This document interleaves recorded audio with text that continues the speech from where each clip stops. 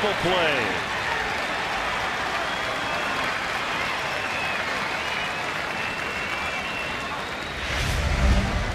That ball was scalded right to Pena, and Bernadina really didn't have a chance. There's just no time to react. Barely enough time for Carlos Pena to react in self-defense to catch that line drive. Headed right for his face and then quickly turns around.